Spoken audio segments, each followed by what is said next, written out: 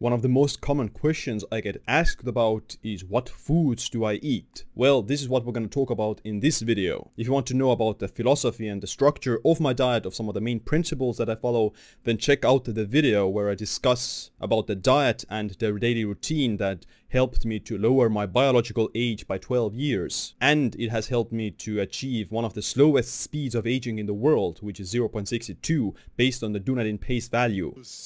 So I'm here in my kitchen. I'm gonna walk you through step by step of my day, of when I eat these foods and uh, why. So first, in the morning, I'm not gonna eat anything. I'm actually have some uh, green tea. So this is a very great source of antioxidants. It's low caffeine and it's just a nice way to kind of start the day in my opinion. In a few hours I'll have actual coffee. So this is uh, one of the best coffees in the world. It's low toxins, it's organic and it actually has a bunch of superfoods in there as well theanine, maca root, raw cacao, and lucuma. So this is the brand that I'm actually um, working with together as well. Before my workout, I'll have some protein to help with the protein synthesis and obviously making gains as well. So uh, the uh, regularly most of the time is gonna be just regular whey protein. I'll uh, ha have like 30 grams of protein from this whey protein and uh, this is usually gonna be the kind of pre-workout meal. In some cases, I'll also have a piece of fruit, whether that be a banana, whether that be like an apple or like an orange or something like that uh, pre-workout to help with uh, some aspects of um, the exercise performance. And in some cases it could also be like some uh, just berries like uh, strawberries, uh, blueberries or cherries or whatever just to get a little bit of like simple carbs in there.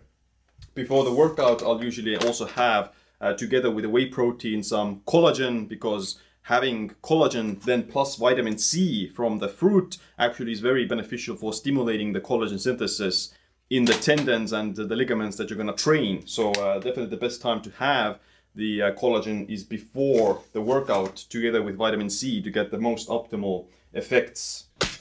Let's move on with my protein sources. What kind of proteins do I eat? So of course eggs are a huge staple of my diet. I eat eggs pretty much every day and uh, they have choline, they have a lot of other nutritious uh, vitamins and minerals and amino acids that are just like, I mean, they taste great as well. They're very easy to make and very quick to make. I do hunt. I hunt my own game. I hunt my own uh, animals. And uh, this is uh, obviously one of the most nutrient dense, most nutritious uh, meat in the world. So like moose, elk, deer, those game meat these are the most nutrient dense and they have the least of any like pollutants or anything like that. So I hunt regularly. I if I hunt something, then I'll you know can the meat. I'll just cook the meat in the oven. This in this can we have a moose meat right now. But uh, yeah, like if you hunt the meat, if you hunt the moose or something else, then you can get a lot of like these organs as well. So like moose liver, that's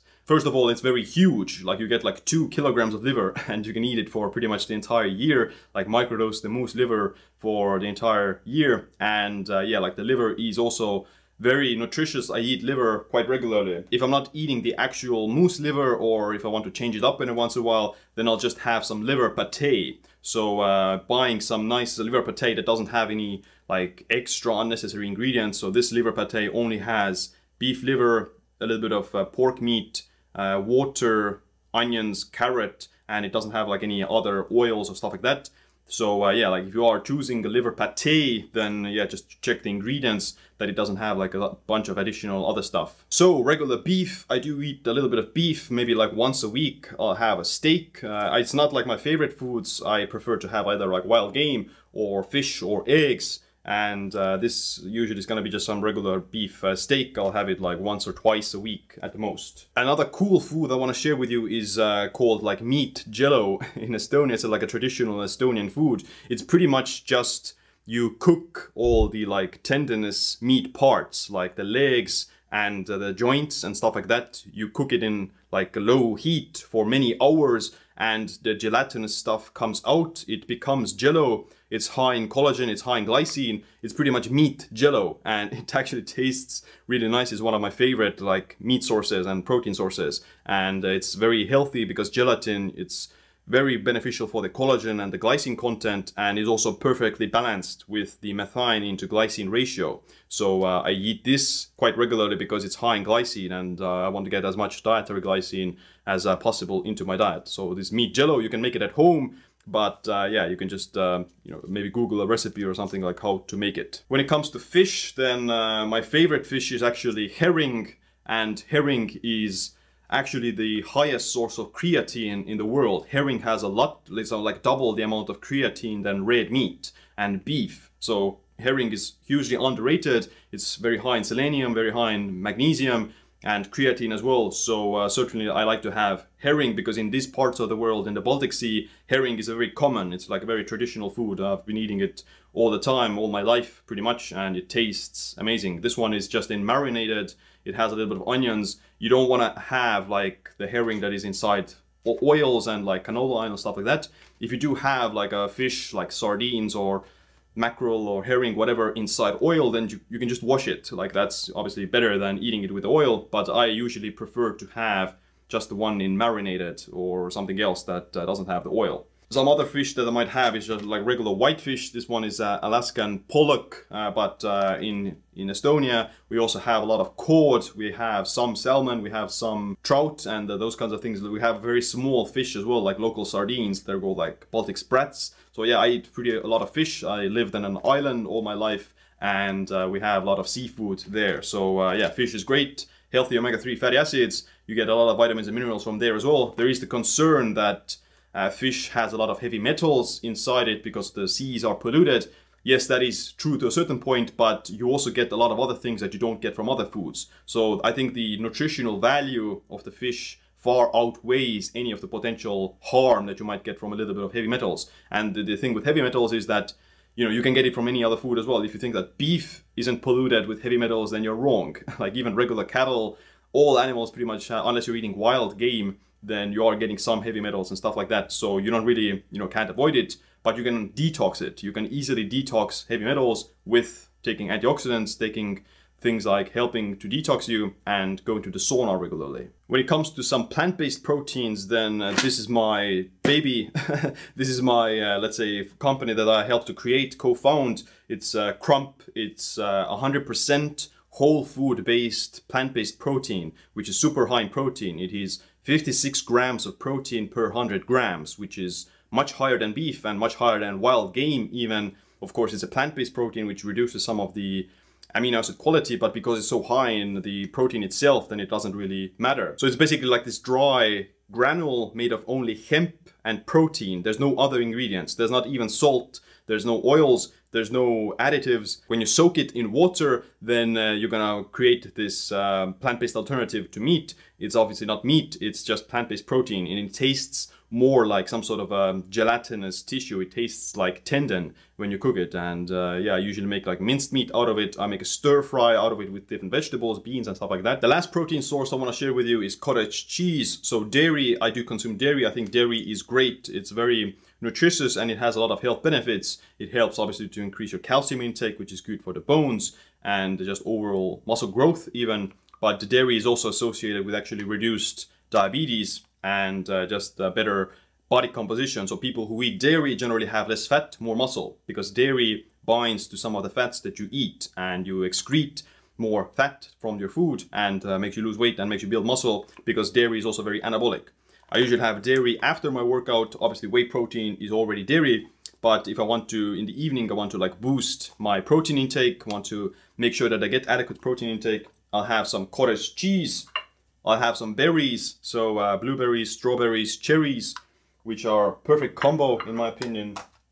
And uh, I might add like some nuts there as well. Usually my nuts, uh, the main nuts that I eat are uh, Brazil nuts. So they're gonna be very high in selenium and you can just cover your daily selenium intake with one to two uh, Brazil nuts. If I do want to have something more sweet and if I didn't eat the meat jello for the day, then uh, I can also just make regular jello so you just have this gelatin powder that uh, you uh, heat up, you let it become gelatinous, and you can make like a nice dessert out of it. Like gelatin desserts are probably the healthiest desserts in the world because it's super high in glycine, super high in collagen, and low calories. Like there's very little calories in this in this Jello, and you can just eat it if you're dieting. You can eat it for better sleep. You can eat it for better skin health, better anti-aging, and yeah, I eat very regularly uh, gelatin. And sometimes if I do want to have something more for dessert, for example, then um, we have another uh, Crump product that is uh, Crump cereal. So this is the healthiest cereal in the world.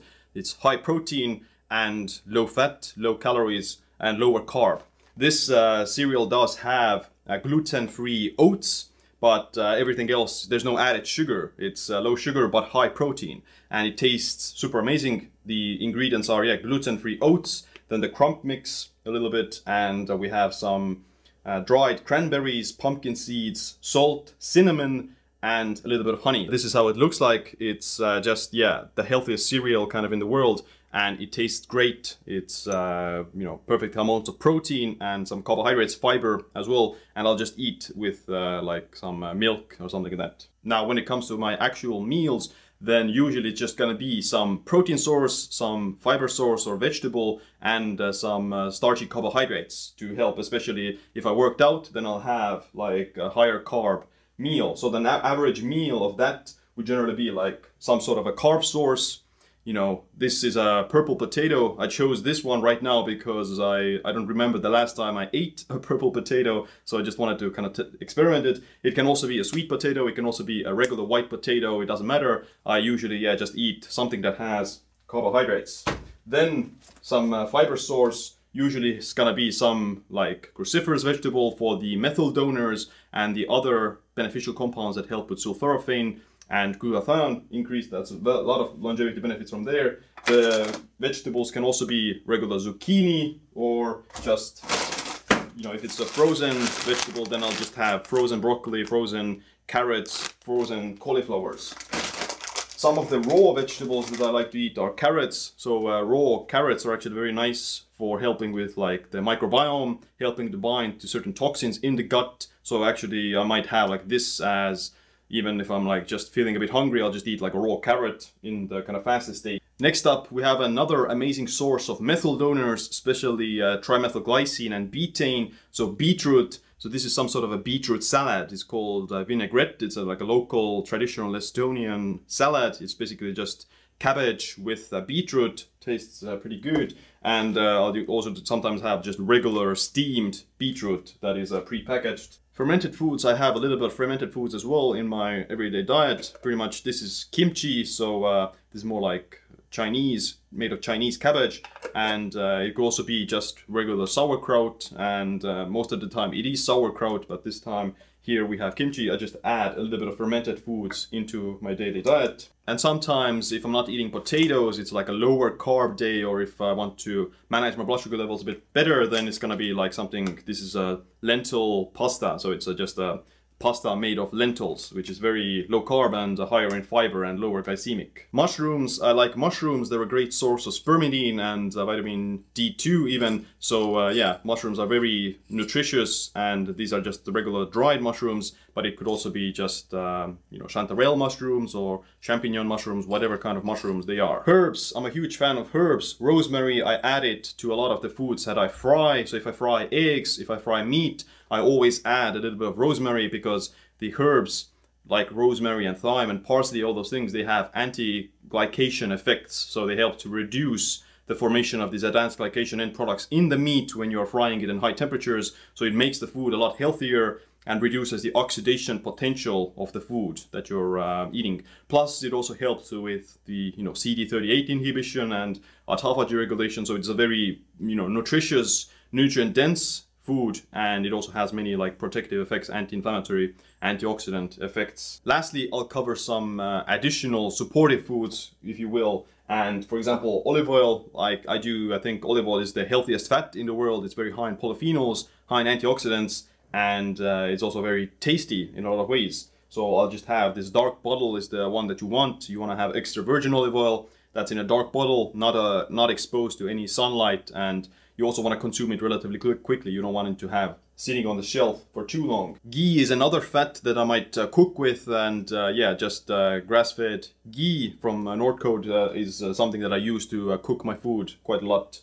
Apple cider vinegar, I like to add this to a lot of my meals because it helps with digestion and the big, biggest benefit, the biggest reason I use it has to do with the fact that apple cider vinegar can lower the glycemic response to the food that you eat. So it can be up to like 55% lower. Seaweed, uh, seaweed is very high as well in many different vitamins and minerals. Iodine, taurine is the highest source of taurine in the world.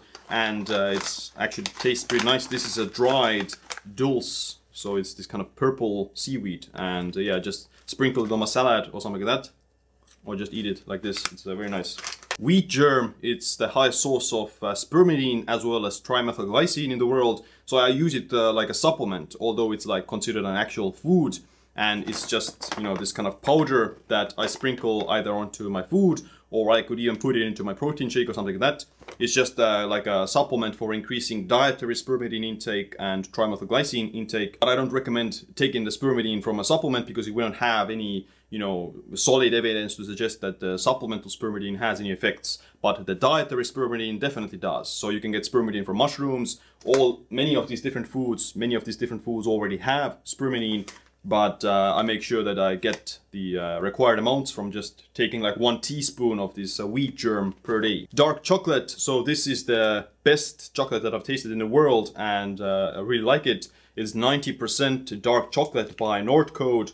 It has MCT oils and cacao nibs. It tastes great. Usually I just take one square of it before my workout. It boosts dopamine it has like some health benefits as well for nitric oxide. So there we have it. These were the foods that I eat on a daily basis. And as you can see, it's pretty balanced. It includes plants, it includes uh, animal proteins, includes different kinds of food groups. I don't really, you know, avoid any certain food group, although I do try to avoid like uh, added seed oils and uh, extra added sugars and stuff like that. But generally, like I'm not afraid of gluten. I'm not afraid of dairy. I'm not afraid of uh, whatever lectins or oxalates or whatever because yeah, my health is uh, great and I don't have any food intolerances. I have like very robust uh, metabolism and very robust digestion. So so far this works great. I think I'm getting uh, a lot of results by following this diet and yeah, things are going great make sure you definitely check out the previous video about the diet structure and the principles and some of the other routines I follow to slow my speed of aging. But other than that, thanks for watching this video. Make sure you click a like, subscribe, notification bell as well. My name is Siim. Stay optimized, stay empowered.